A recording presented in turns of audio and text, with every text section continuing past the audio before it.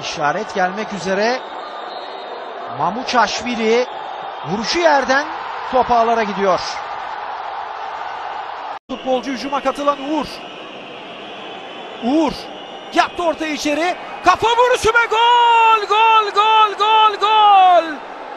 Topu ağlara gönderen Leke James. Sivasspor beraberlik golünü atıyor. Çok güzel bir orta. James yükseldi.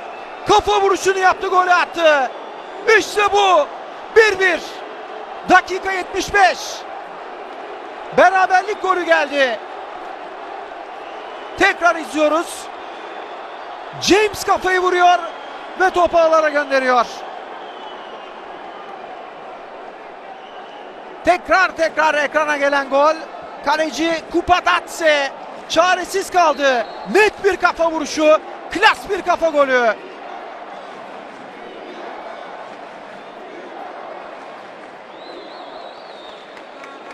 İşte Ali Şaşal. Ziya. 90 artı 5. Haydi bir gol daha. Sağ tarafa. Faysal. Bir orta. Arkaya bir kafa son anda. ikinci pozisyon. Gol gol gol gol gol. Top ağlarda gol. Kayode. Kayode affetmedi. İşte bir gol daha dedik. Kayode topu ağlara gönderiyor. Önce kafayı vuruyor. Kupa Tatse'den dönen topu takip ediyor tamamlıyor. Ve golü atıyor. İşte iyi dolar.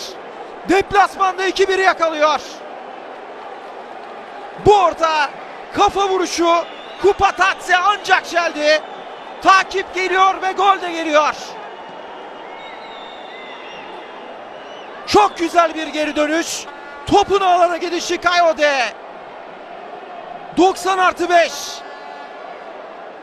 Avrupa maçlarını çok seven bir isim. Topu ağlara yolluyor. Ve gol böyle geliyor. Dinamo Batum adeta yıkılıyor.